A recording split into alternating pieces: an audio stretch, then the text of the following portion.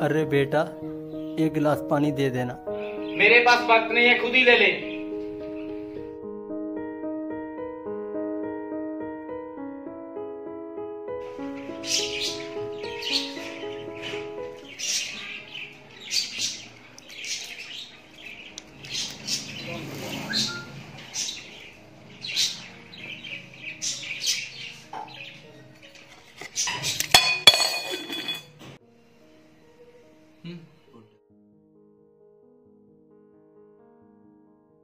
अरे बेटा। हाँ बाबू जी आते वक्त बेटा मेरी दवाई लेते आना। मेरे पास पैसे नहीं है जब होंगे तब ले आओ। मुझे परेशान मत किया करो।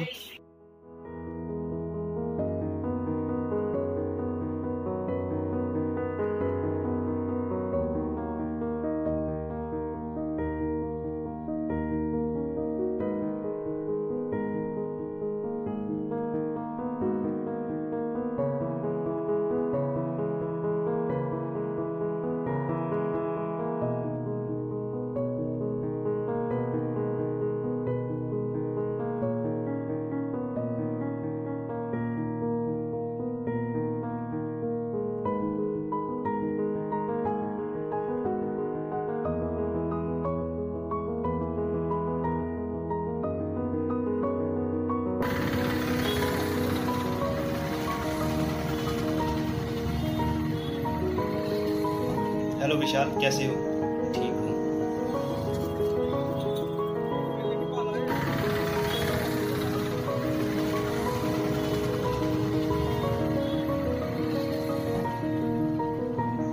आजकल बहुत चुप चुप रहते हो। क्या बताऊँ यार बाबूजी ने परेशान कर रखा है। मेरे साथ भी कुछ ऐसा ही है। काम से थक कर आता हूँ आते ही घर में टेंशन खड़ी कर देता है। बहुत परेशान करते हैं ये बुढ़े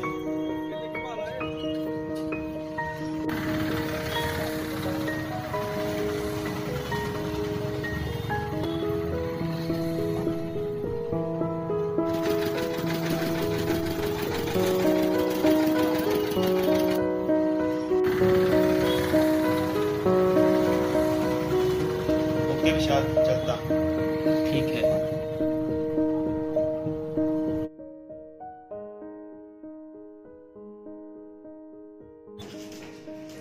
नमस्ते पंडित जी। नमस्ते बेटा आइए बैठिए।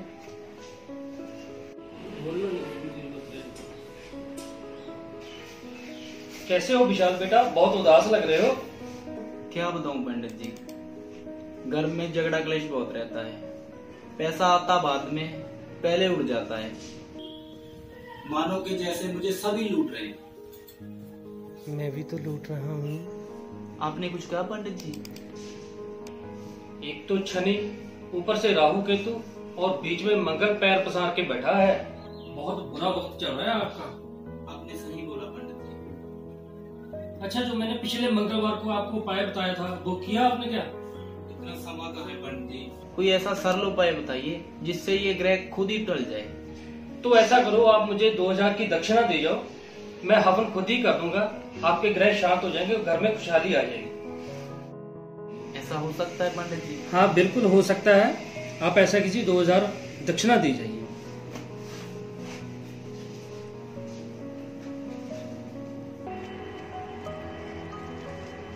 दुनिया कहाँ से कहाँ पहुँच गई और हम अब भी अंधविश्वास के जाल में फंसे हुए हैं। विशाल के पिता ने उसको ज़िंदगी दी उंगल पकड़कर चलना सिखाया लेकिन आज विशाल के पास इतना टाइम नहीं कि उसको पानी दे सके। और सूर्या को पानी देने जाता है। क्या इससे भगवान खुश होंगे? नहीं। पिता की दवाई के लिए उसके पास 200 नहीं है और पंडित को देने के लिए उसके पास 2000 हैं। क्या इससे ग्रह शांत हो जाएँगे? बिल्कुल नहीं। ईश्वर हो जा परमेश्वर, भगवान हो जा अल्लाह या फिर अकाल पुरख। सबका संदेश एक ही है। इंसानियत को अपनाइए, सेवा भाव रखिए। और वैसे भी किन ग्रहों की हम बात करते हैं, वो यहाँ पे लोगों ने फाइव स्टार होटल खोल रखे हैं।